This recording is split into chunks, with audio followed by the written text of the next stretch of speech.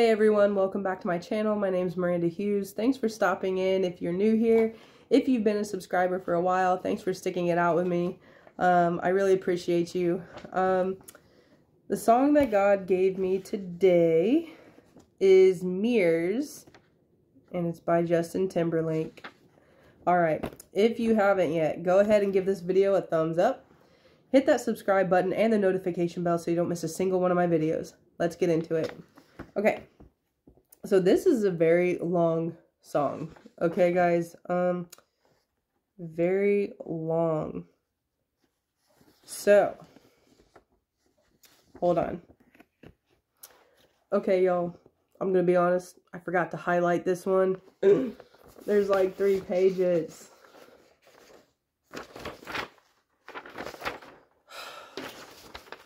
Y'all gonna have to bear with me today because Holy Spirit, please lead and guide me through this because this is going to be interesting.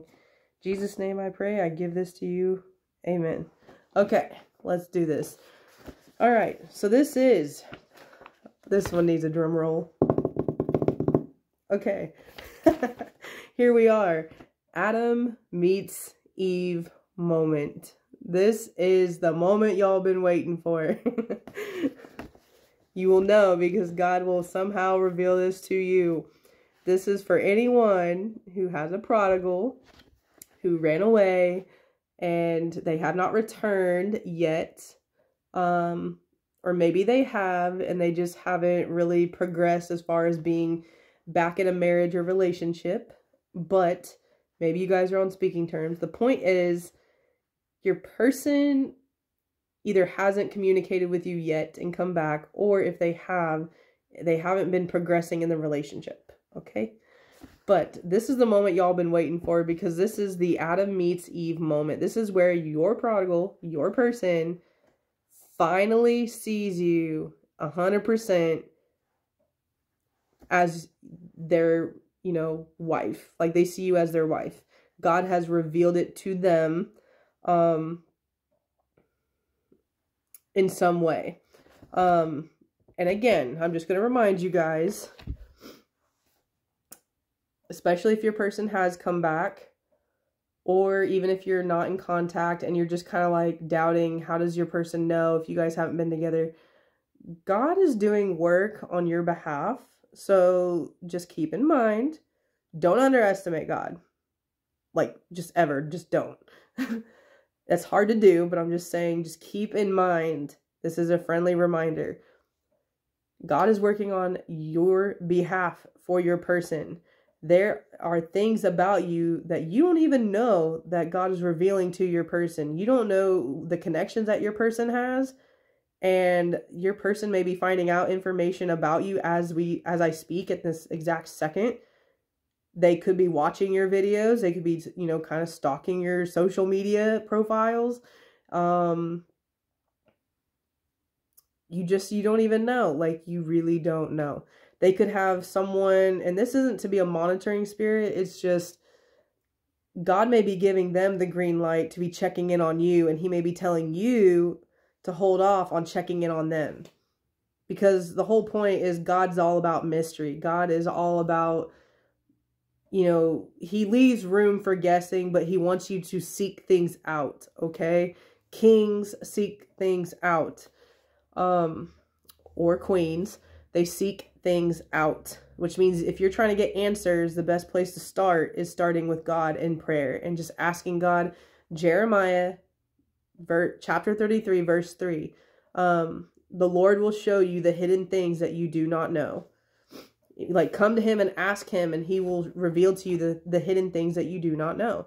So sometimes god gives you revelation to things when you haven't even asked because he's just a really great god like that. But in this circumstance just please know even if your person if god reveals to your person that you are their spouse think about this journey that you've just been on for however long you've been on it. For me, it's almost three years. Um, for me, it makes perfect sense that if my person were to know that I'm their spouse and they were in denial or doubts or whatever, I'm not going to judge them for that. You know why? Mm, I was kind of the same way at first. I mean, I knew when God told me who my person was, but guess what? There were plenty of times where I started to think, I was like, God, are you sure?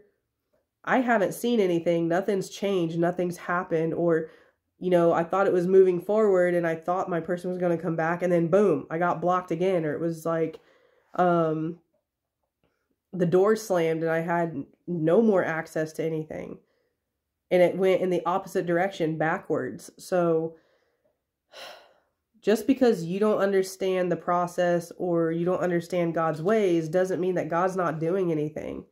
And it doesn't mean that God's not working. It just means that, and also, just because God reveals you to your spouse doesn't mean that they're going to immediately, um, I mean, they should hopefully immediately understand the assignment and who you are and make sense. But at the same time, you know, God wants us to test the spirit. God wants us to seek things out and seek him. So another thing is to step out and find out. So even though again, I'm giving this song to you today, um and it is that Adam meets Eve moment. This is where, you know, your person is basically recognizing who you are because God is revealing to them who you are in this, he did it in the spirit and now he's doing it in the natural now your person like the the veil has been removed the scales have been removed your person can be like oh wow you're my wife or wow you're my husband if it's you know a woman um the point is is that you got to allow your person to have some time to process this and to seek God in their own time through prayer or fasting or whatever to confirm if that's really true. And that's only because God can reveal it to them, but they're allowed to have doubts too. They are allowed to go to God in prayer and fast and question too.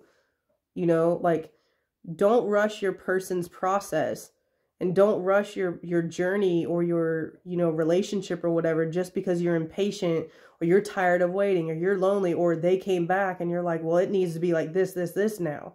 Mm god's timeline not ours. Um it can move very quickly but i'm just saying your person and think of it this way guys.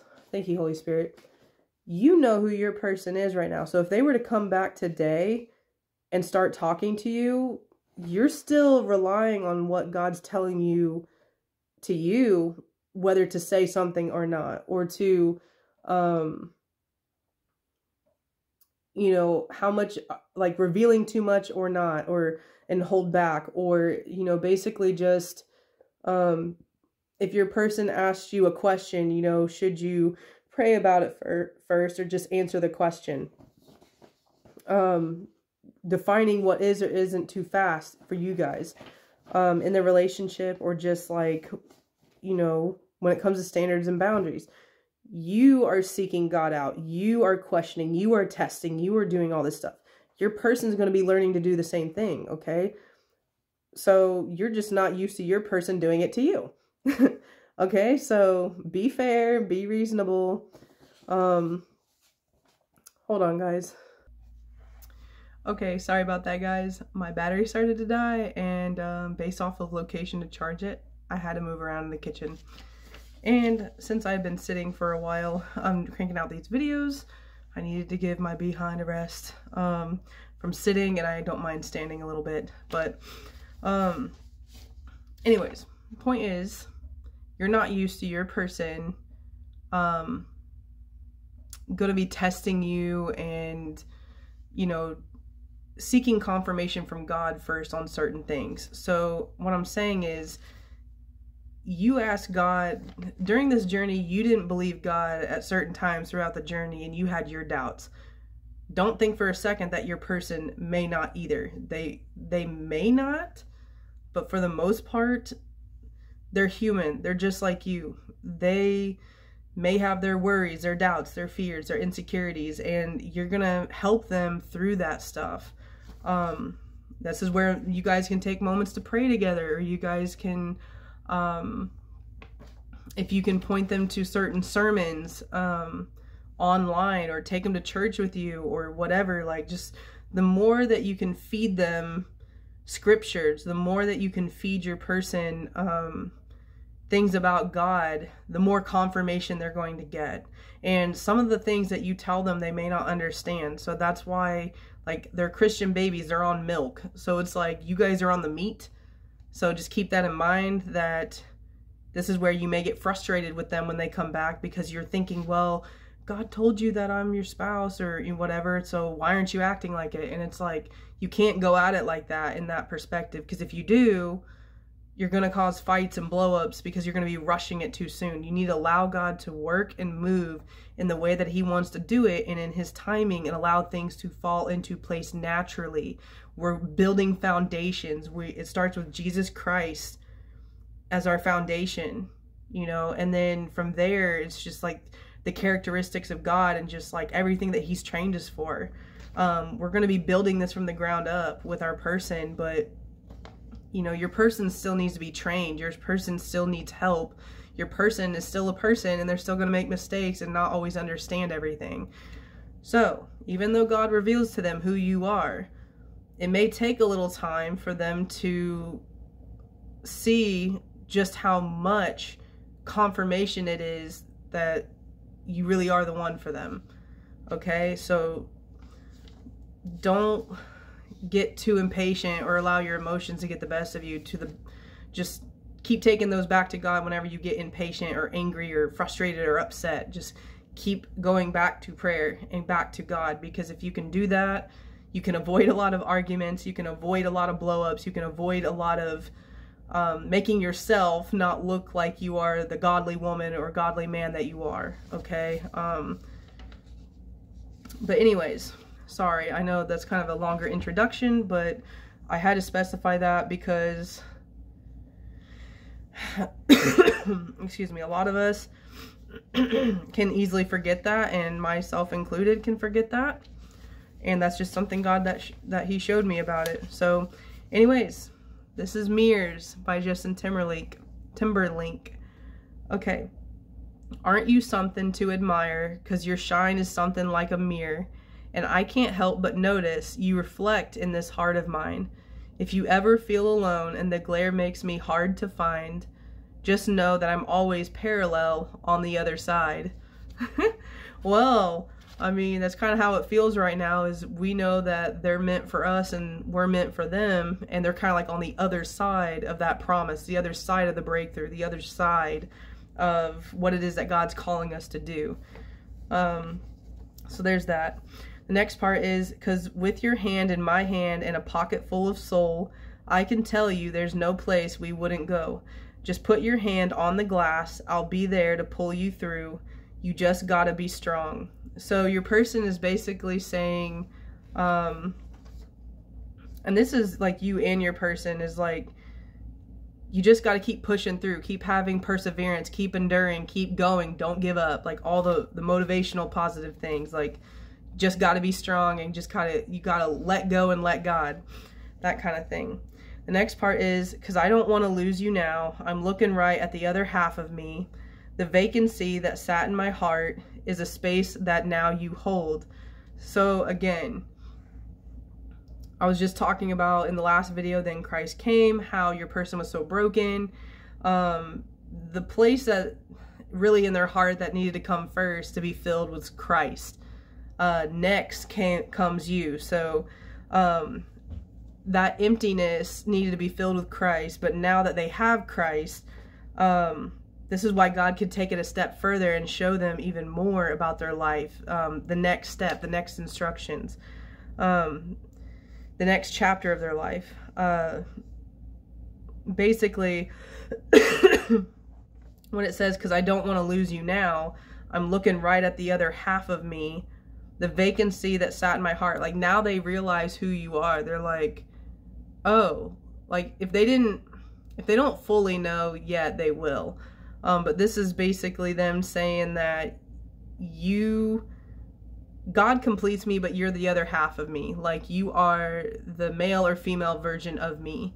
And um, I don't want to lose you. Like I, now that I recognize this, I don't want that to be taken away or I don't want it to go away. Um, show me how to fight for now. This is the part where God highlighted to me where it came into my mind. I haven't heard this song since like I graduated in like 2011 and this song was just playing in my head one day when I was working in the garage and I was just like I was just like trying to think. It came to me like uh the show me how to fight for now um, and I'll tell you baby it was easy coming back here to you once I figured it out. You were right here all along. So it took me a minute to figure out the lyrics because I hadn't heard it in so long and then that's when it, it hit me. Like I had to google it and find out and uh, I just typed in the lyrics and then mirrors popped up excuse me and I started listening to it and I was like oh my gosh there it is there's the song so this came to me a whole lot this was probably probably in October September or October when God gave me this song and so like I said God's been working on my prodigal and your prodigal this amount of time already. So, um, whoever this is for, excuse me, God's working and moving. But um, the part where it says, Show me how to fight for now, and I'll tell you, baby, it was easy coming back here to you once I figured it out. You were right here all along. Basically, they need your help on knowing how to fight in faith. Um, and then also, of course it'll be easier for them to come back to you once they realize who you are once they figured it out um, that you were right here all along um, not about you being right but just the fact that you were they were meant to be with you this entire time like once they realize that they can't go into any other relationship they can't make it work with um, people online or that they can't do OnlyFans they can't live the old lifestyle that they did. Like it's just basically the only thing that um once they figured out that it was you that they needed to, to be in a relationship with, once it w- they realized it was you that they needed to come back to, it's a lot easier to know what direct where to go in what direction when they know where they need to go to. Does that make sense? Like if you just hop in your car and you're going to go traveling, you don't know where to go if you don't have directions, right? So it's a lot easier for them to come back to you if they know for certain that it was you that God wanted them to be with. Um, hopefully that made sense. The next part is it's like you're my mirror, my mirror staring back at me. I couldn't get any bigger with anyone else beside me.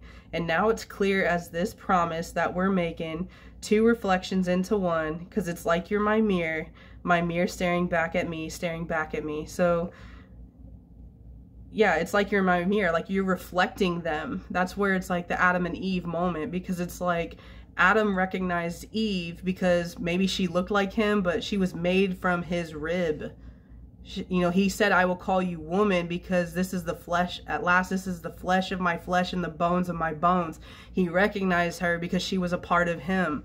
So, this is where your person, God is able to reveal to your person who you are because you basically, like I said, you're like the male or female version of your person. They recognize you, maybe even by your looks, but more importantly, your heart, your attitude, your perspectives, your outlooks, your um, characteristics, um, the journey that you've been on in life, like the things that you've accomplished and the things that you're interested in. Like it's a reflection of not just Christ, but a reflection of them. Like they, you guys have probably experienced similar things or gone through similar things um, are interested in similar things and they're just like, oh, wow, I get it now. It's you.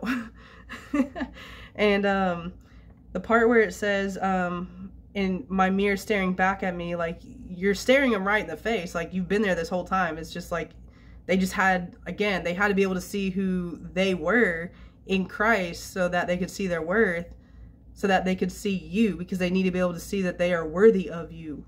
Um, the next part is I couldn't get any bigger with anyone else beside me. And now it's clear as this promise that we're making two reflections into one.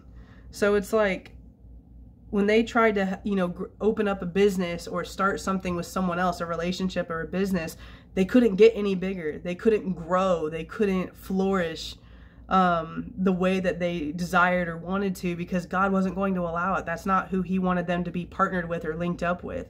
It was you, always you.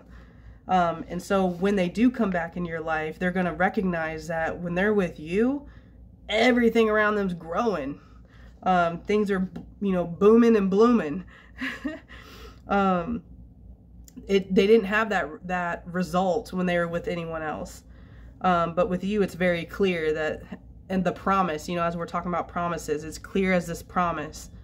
Um, so that's what I mean by confirmation. Like you got to allow God to breathe into this and give it time, um, God's time for your person to recognize who you are, not just by God showing them through revelation, but also showing them in confirmation as they spend time with you, as they talk to you, as they do things for you, or you do things for them.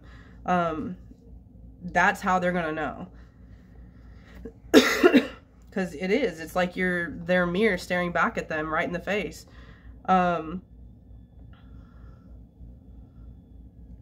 Aren't you something an original because it doesn't seem merely assembled and I can't help but stare because I see truth somewhere in your eyes. Oh, I can't ever change without you. You reflect me. I love that about you. And if I could, I would look at us all the time. Because with your hand in my hand and a pocket full of soul, I can tell you there's no place we couldn't go. Just put your hand on the past. I'm here trying to pull you through. You just got to be strong. Okay, so you're an original, you're not fake, you're authentic. Um, I can't help but stare. So they're going to be staring at you a lot in awe and amazement because they're just one, shocked that they're even back in your life.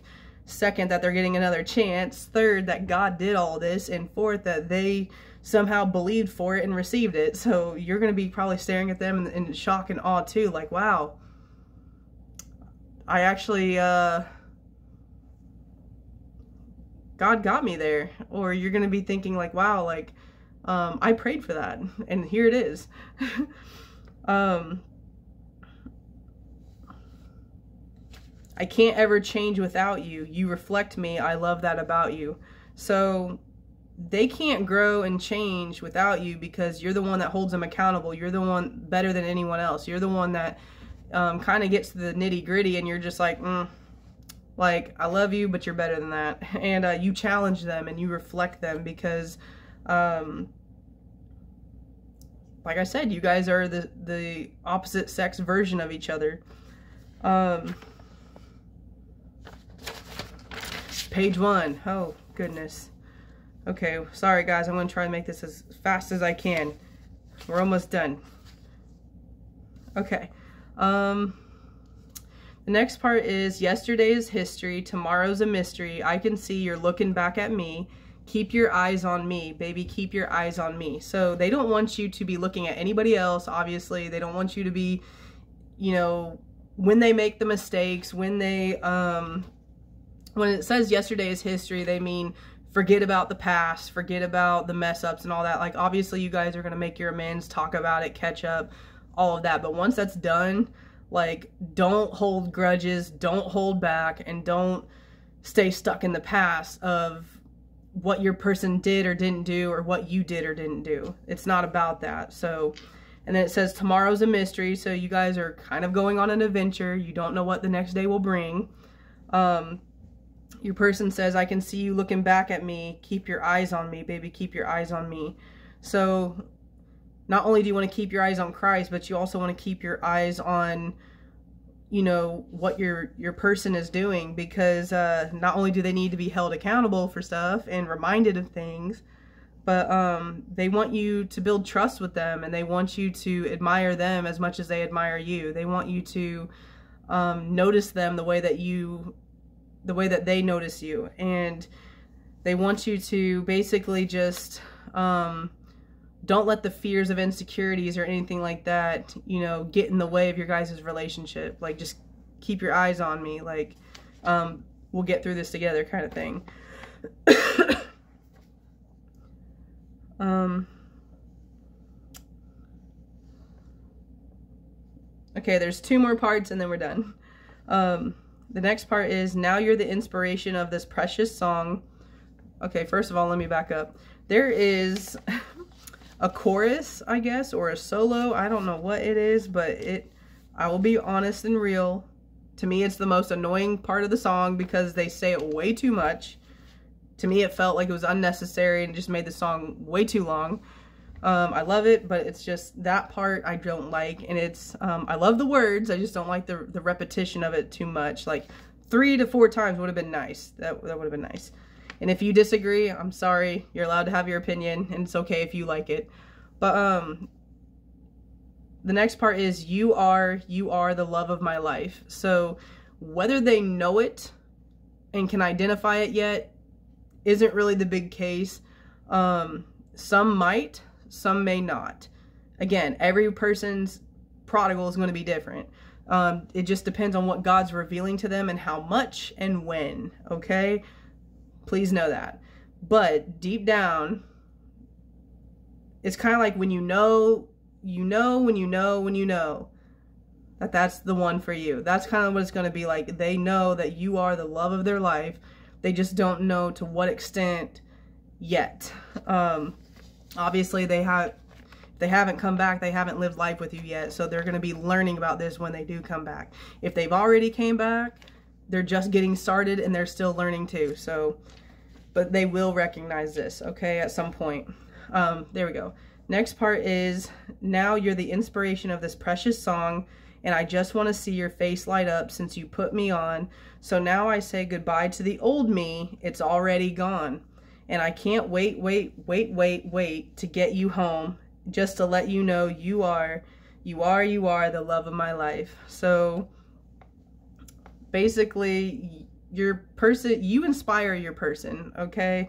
Um, they want to see your face light up um, whenever they are, you know, commenting on you or complimenting you or um, just talking to you. They just, they love seeing a smile on your face.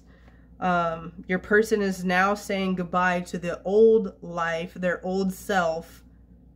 It's already gone. Like they've already made up their mind. They've made the decision that they are choosing Christ. They're choosing you. They're they're choosing the life that they can have with you versus anyone else. They want God and they want you. Um, and they just can't wait at all um, to get you home. Um, if this is a marriage type deal, we all know what that means. It just means for them to have the honeymoon and do whatever people do on the honeymoon. Um, obviously, that's not entirely going to be the case when your person comes back. They might be thinking about it, but um, standards and boundaries, okay? God's timing. That's all I'm going to say on that. Um, and then the very last part, guys, thank you for toughing it out if you've waited this long, is girl, you're my reflection. All I see is you. My reflection is every in everything I do. You're my reflection and all I see is you. My reflection in everything I do. Anytime they see your social media posts, your YouTube videos, um, your business advertisements, whatever it is that you're doing, if they hear about you, um, they're proud of you and they love you and they're just like, dang, you're my reflection. Like you're doing things that I want to do or, you know, because you guys are interested in similar things. Um, possibly even doing the exact same thing. Um, excuse me. So you impress them, you inspire them. They think you're incredible and amazing and they may have not told you all this yet, but basically they they see themselves in you, and that's why you're their reflection. Um, and it's not just in one thing; it's everything that you do and everything that they do. Um, it says, "You're my reflection, and all I see is you. My reflection in everything I do." And that's why I was I titled this one "Adam meets Eve." moment because this is not your doing. You're not talking to your person trying to convince them that you're their spouse. Um, you're not having other people try to convince them. You're not manipulating or controlling it. You're letting God have his will and his way and work in your prodigal's life or your person's life, however, which way God chooses to do so. And that's the beauty of it because God's going to reveal to them in dreams, visions, um, some if it is other people telling them, it could be strangers, it could be angels, it could be um, just bringing up old memories and having a new perspective on it. I'm not going to go through all the list of ways, but just so you have a general idea, like God is bringing revelation and he's bringing remembrance and he's bringing in new light and perspective to your person, your prodigal, and showing them this is the way, walk in it. This is your person. This is your spouse. Um, and they will be able to receive it. Um, but like I said, they are still human. Um, it was very easy for Adam to receive Eve because there was no other women around for him to kind of be like, "Are you sure?" Like, God only made one other woman or one woman, so there was no competition. Ooh, thank you, Holy Spirit. Wow. So what God was saying in that moment is that when your person recognizes you as their spouse, when he's awakened to that revelation, it's like all these other women aren't going to matter because he's not going to pay attention to any of them in a, in a matter of sense. Because it's like kind of like tunnel vision like he's like God will give give them your name or he'll give them revelation of you being the person. And it's like all of a sudden like all these options all these dating just and they're like I can't see anyone but you. Like you are it it's not even about being chosen it's you were destined for me um, you were created for me and God does say the woman was created for man and not man created for woman woo God all right thank you all for toughing out with that one because that one was kind of long. Excuse my mess. I'm cleaning back here, rearranging things. I apologize. But, um, yeah. That was the Adam Meets Eve moment, and that was Mirrors by Justin Timberlake. Um, thank you for you guys watching, and, um, excuse me. If you haven't yet, give this video a thumbs up, hit the subscribe button and notification notification bell so you don't miss a single one of my videos. I'll catch you on the next one. Bye guys and God bless.